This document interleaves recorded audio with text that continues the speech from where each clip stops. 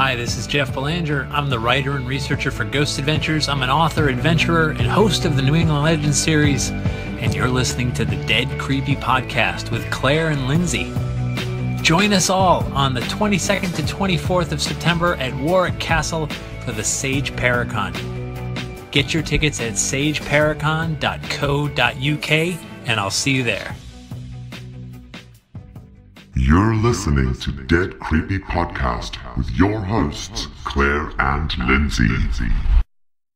Hello and welcome to Dead Creepy Podcast.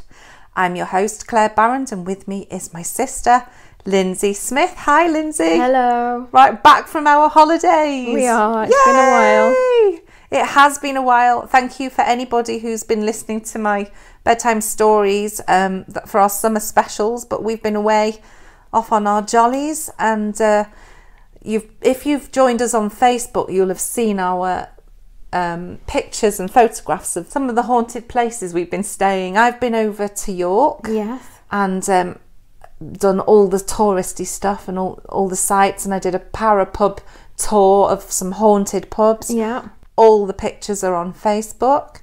And where did you go? I went to Glastonbury and stayed in uh, the George and Pilgrims Inn, which is a very famous old haunted inn.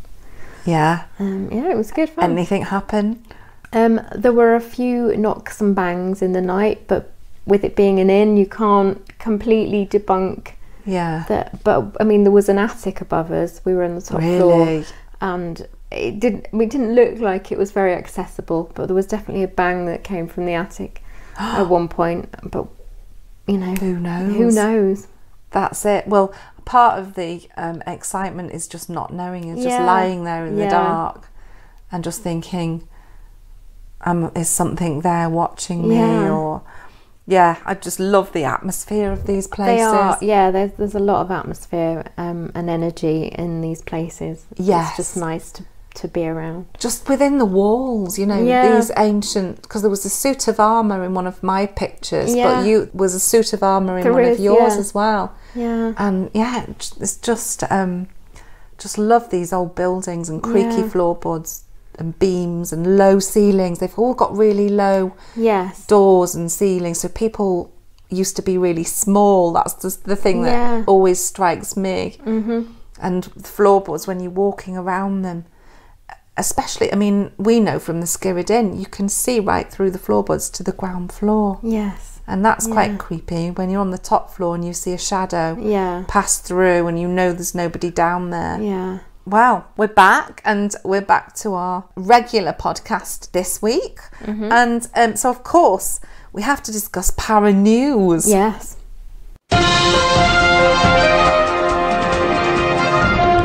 Para News.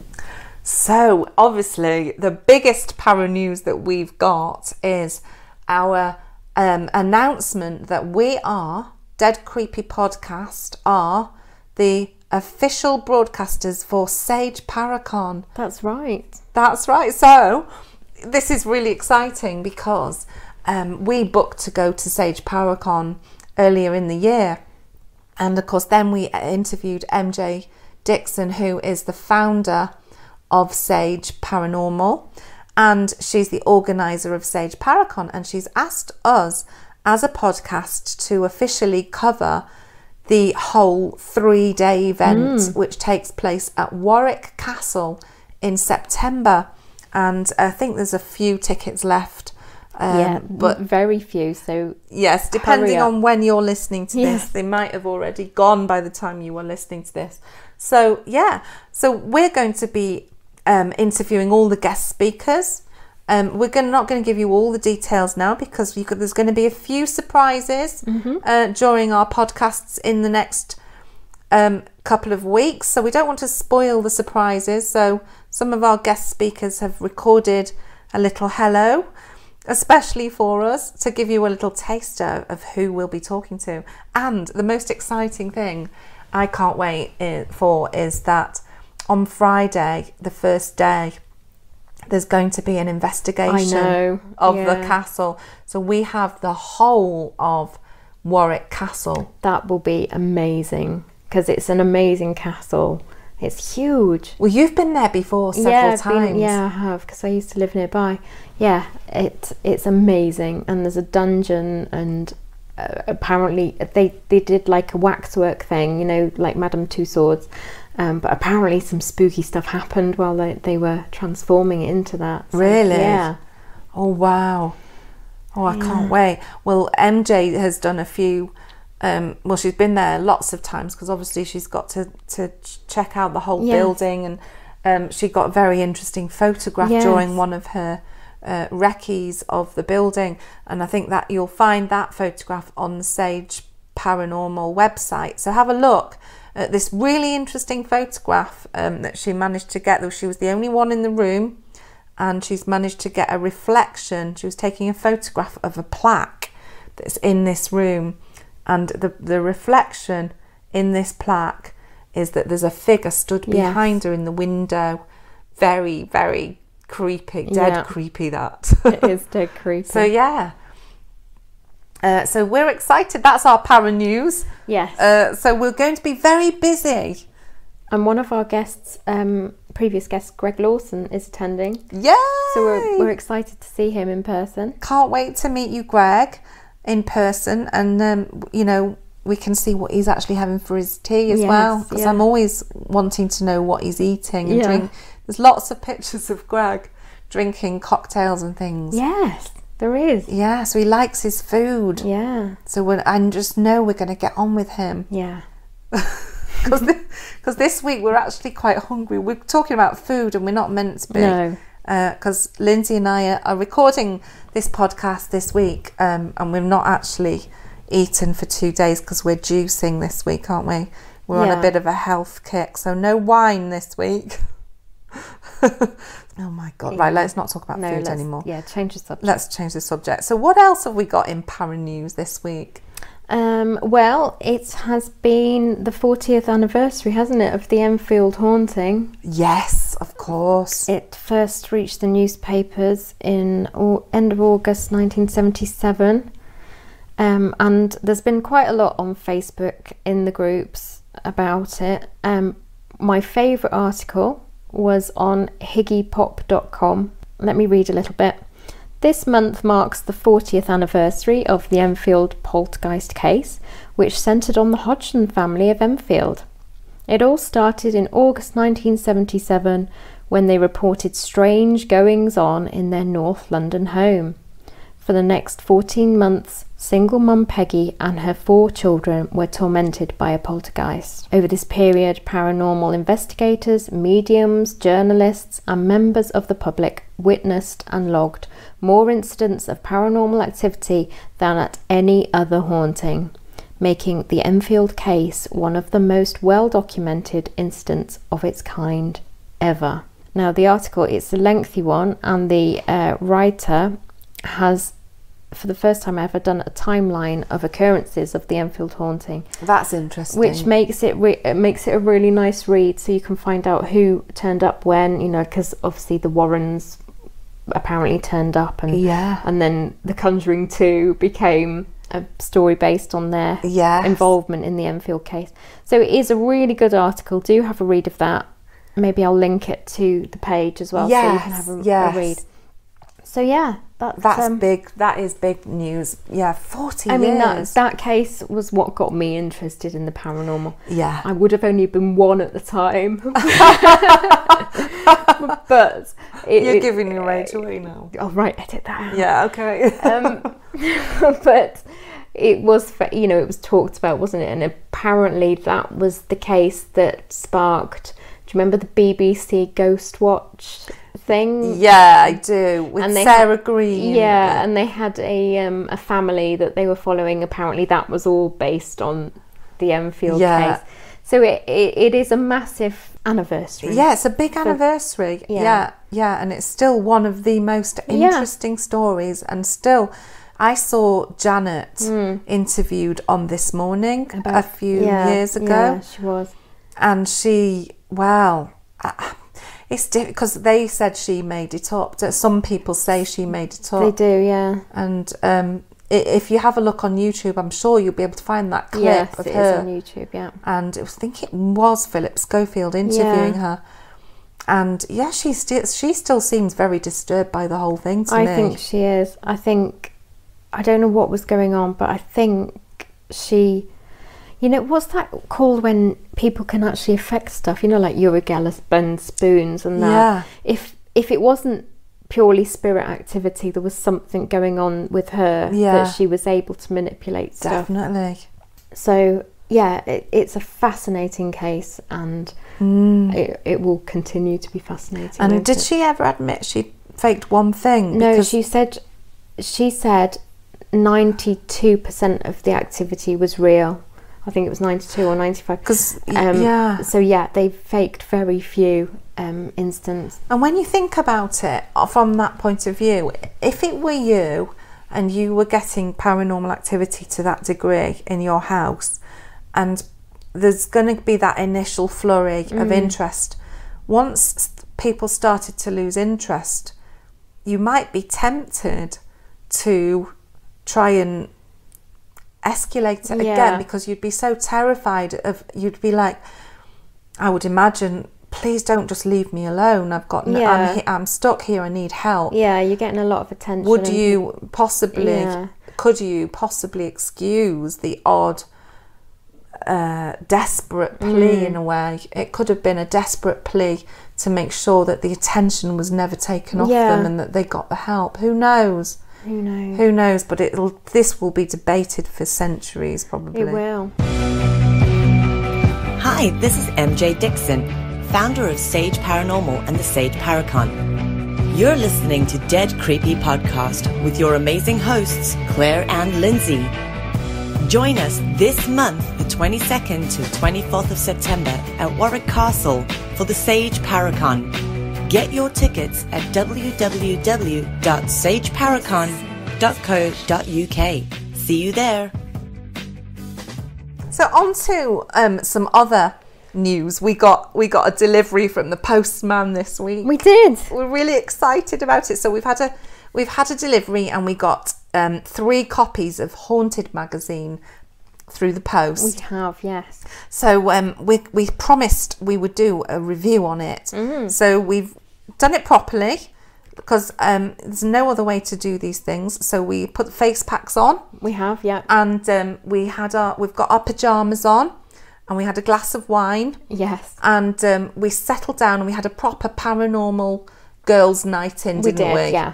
and um, and we read these magazines from cover to cover um, and so we got just to clarify which ones we were reviewing we got issue 15 which was Jack the Ripper Mm-hmm. special like a special Jack the Ripper Issue. issue with Yeah. everything in there you could possibly want to know about Jack the Ripper. Then we got the issue 16, which Okay. was the Women in the Paranormal magazine. Um, now, this is a particularly good magazine. It is. It's Um, a really good copy, this one. It's a really good copy because it's not only is it the magazine that features an article written by myself, Mm-hmm. um, it's also been guest edited by Lorraine Warren. Yes. So, oh well, you know, an, an icon, isn't she? She is. She's a paranormal icon. She really is. So she's guest edited that magazine. Um, it's an absolute must-have because I think these magazines, in fact, all of them are probably going to be collector's items Yes. one day. And then we've also got the latest issue, which is issue 17, and there's an exclusive interview in this one with the Ghost Brothers. They- have you ever watched them? Have you watched them? You've not I- seen them I'm yet? sorry, I haven't. Well, you have to catch up with them because they're they're really good. They're, they're really quite funny as well. Um, so yeah, brilliant magazines. We think we we like, don't we, We do. It's very good. I can recommend it. And um, yeah, I am not biased at all just because my article was in one of them. I'm reviewing all these three of them, and they're really glossy magazines, They are. loads of content in them. So it's not the type of magazine you're going to read in an hour and it's done. Um, they look good on the coffee table. They do. They do. Um, I wouldn't recommend you rest your coffee mug on your copy. yeah, these magazines are not the type of magazines that you would swat a fly with or anything like that. They're just too No. nice for that. You, Yeah. you want to keep them tidy. You want to keep them. That's a very Welsh way of saying Tidy. You want to keep them tidy. You do. Yeah. You want to keep them. Um, once you've read your copy, I would It'd be worth suggest you getting pop a, it. a box file to keep them in. Yeah, definitely, because they will be worth something one day. Yeah. Because um, they're they're entertaining, but they also they they're not dated. So, for the for a reason, apparently, um, Paul Stevenson, the editor, told me they don't date these magazines because they just want them to be a, a collector's Right. item Yeah. and um, so that of course they're in order of issue issue and you can back order all the copies Yeah. um, but i think they're very very limited edition Right. so they're not mass produced what i like about it is that even though you've got lorraine warren guest editing and you've got an interview with the ghost brothers and you've got some really well-known uh, feature writers in here um, you've also got some unknown new writers as well. Yeah. So um, there's people in these magazines that haven't ever had anything published before, and this is their first article, which is fantastic because it's it's new talent and it's great because as a writer myself, I know you want to get you want to just get your name out there and you want to start getting feedback from people. And um, a lot of the big players in the magazine world, they- they're just unapproachable. Whereas Haunted Magazine definitely have sourced some in really good new talent in terms of writers. And I've heard that next issue is going to be guest edited by Nick Groff. Right. So that'll be an, another fantastic magazine. Thank you very, very much, um, Haunted Magazine, Yes. for sending us these to review. If you want to order your copy of Haunted Magazine, you can find them on the web. It's www.hauntedmagazine.com and they're also on Facebook, which will be Haunted Digital Magazine. So have a look for them online. Um, and it's a Dead Good Publishing Limited production. I would recommend people buy a copy. Hi, this is Claire Hinks, and you're listening to Dead Creepy Podcast with Claire and Linzi. Join us on the 22nd to 24th of September at Warwick Castle for the Sage Paracon. Get your tickets at sageparacon.co.uk. You're listening to Dead Creepy Podcast with your hosts, Claire and Linzi. So, did you remember to send a copy to Daryl? I did, yes.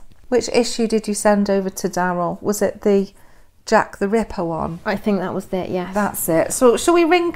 Daryl Whitebottom is our resident skeptic, and he's also a parapsychologist. yes. Uh, so we will we'll get in contact with Daryl now and see if he's got anything he'd like to add.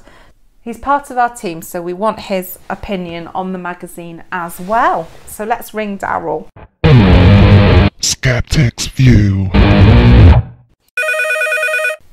Hello, Daryl. Is that you? Are you there? Aye, right. Um, I've got the Haunted magazine what you sent me, and um, I've been running some diagnostic tests on it. Oh, diagnostic Right. tests. Why would you? I'm glad you got the magazine, but what what sort of diagnostic tests did you run? Well, um, I had an EMF meter, an infrared camera, and um, I did a live vigil for 24 hours, calling out and stuff. Right. Why did you do all that? Well, 'cause you said it were an haunted magazine. oh no. No, we just wanted you to read it. It's a magazine about haunted things, Daryl. Oh, right. Um, well, I've already filmed Trading Standards. Oh no, you haven't, have you? Oh, Daryl. Right, okay. Well, just send us the magazine back, and we'll have to apologise. Um, you never said you wanted it back. Um, I've gone and sold it on eBay for £351 and 35p. Oh my god. Oh, you haven't. Oh no, Daryl. Well, at least you're gonna at least share some of that money with us. Um, well, I would, but I've bought myself a Beverley Craven bedspread and a few thousand Twitter followers with the money. Oh no! what did you do that for, Daryl? You don't need to buy Twitter followers. I'm sure there's plenty of people listening that would um, happily follow you on Twitter. Oh, right. right, I think we'll leave it there, Daryl, and uh, perhaps we better not mention this. Yeah. We better not. We'll keep this to ourselves. Yeah, all right then. All right, thanks, ba- Daryl. Bye, Bye. bye, Daryl. Right, bye.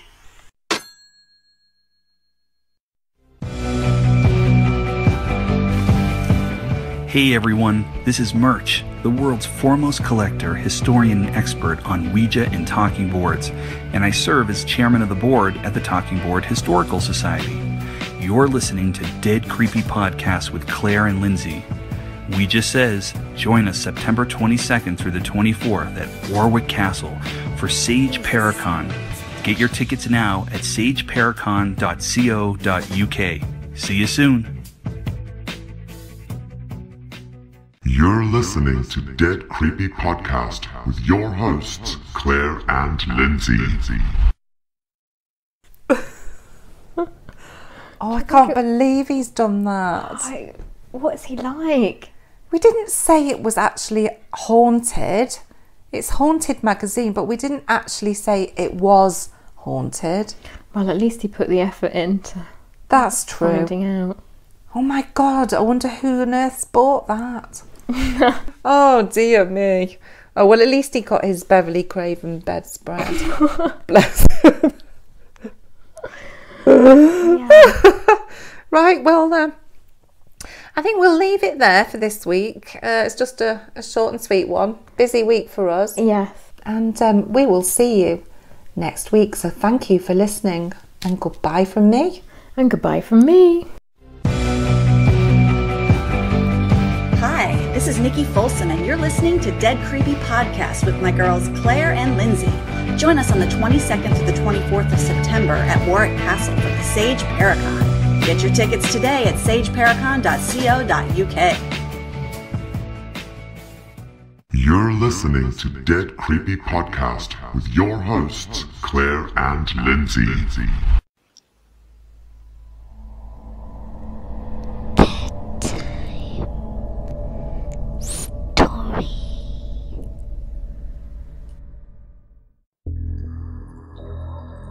This is the story of the Lonely Shepherd. Written by Graham Watkins and taken from his book titled Welsh Legends and Myths. Available on Amazon. The shepherd spent his days on the mountains of Llangattock. It was a solitary life, wet and cold in winter, hot and dry in summer. Each season was different, but all meant hard work for the shepherd. In winter, his back strained as he carried fodder over the mountain to the pens so that his sheep would not starve. In spring, he worked through the nights to help them lamb. Before the hot days when the sun would be high in the sky, he sheared the sheep and carried the heavy fleeces to market. In the summer, He would walk miles over the mountains searching for stray lambs. All year long, he protected his flock from wolves and robbers. He didn't mind. His sheep were his living. This was his life. But a shepherd's life is lonely. And a man that is alone grows sad. One day, the shepherd sat and looked around. His cottage was neglected and cold, his hearth unswept, and his clothes were unmended. I need a wife, muttered the shepherd. One who will look after me, mend my coat, keep a warming fire in the grate, and put a hot supper on the table. The next day, the shepherd went into town in search of a wife. He found a widow, a quiet, comely woman in need of a home. He courted her, and she agreed to be his wife. They married, and she moved into his cottage. At first, the shepherd was pleased with the changes that his new wife made. She cleaned the cottage and polished the grate. She scrubbed the table and repaired the curtains. She mended his coat and chopped wood for the fire. Each night they ate a hot supper, and his wife would sew whilst he smoked. The shepherd was content. One evening, the shepherd came home after a long, hard day on the mountain. He opened the door and went into the cottage. Get outside with those muddy boots. Can't you see I've just cleaned the floor? yelled his wife. He took off his boots and put them outside the door. The shepherd and his wife sat in silence as they ate supper. The following night, the shepherd returned home. He found the cottage blazing with light. Laughter was coming from the open doorway, and gay music filled the air. The shepherd went into the cottage and found it full of people. Who are these people in my house? he cried. These are my friends, husband, answered his wife and laughed. The shepherd was angry and threw the people out of the house. How dare you treat my friends, visiting me in my house so badly? cried his wife, and threw the shepherd's supper into the fire. The shepherd went to bed in silence. The next day, the shepherd got up early and roused his wife. Come, wife, there is work to do, he said. He marched his wife up the mountain and made her help him gather the sheep. It was dark when they arrived home. Light the fire and get my supper, ordered the shepherd in a loud voice. His wife was afraid of her husband's mood and did as she was told. Once more, they ate in silence. In the morning, the shepherd woke his wife before the sun had risen. Get dressed, we have sheep to shear today, commanded the shepherd. The shepherd made his wife work all day long, shearing the sheep and moving them from pen to pen. It was dark when they returned to the cottage. Why is there no firewood by the grate? Where is my supper? demanded the shepherd. I am tired, husband. I have been working all day with you. replied his wife. Hearing his wife's answer, the shepherd flew into a rage. You lazy woman, he yelled. Each day the shepherd made his wife work on the mountain until she was exhausted. Each night he scolded her for not doing her chores. The house is dirty, he snapped. My clothes are not washed, he sneered. You bake no bread, you make no cheese. How do you expect us to eat? He yelled. The husband's cruelty grew worse as the months passed. The shepherd's wife grew weary, and sadness filled her heart. One evening, when they returned from the mountain, and her husband began to rant and rage once more, the shepherd's wife ran from the house. Tears filled her eyes. She could take no more of her husband's browbeating. The poor woman ran down to the river Usk, and she threw herself into the water and drowned. Later, when she did not return, the shepherd began to look for his wife, but she was nowhere to be found. The shepherd was alone once more and grew sad. He missed his wife and knew that he had behaved badly towards her. If only I could find my wife and take back my hurtful words, he thought. Every day he searched for his wife, and then one day he did not return. His sheep grew wild on the mountain, and his cottage fell into ruin. The people found the lonely shepherd high on the mountain. Because of his cruelty, the shepherd had been turned into a pillar of rock and stood like a silent sentinel looking down on the valley where his wife had vanished. The people named the rock the Lonely Shepherd.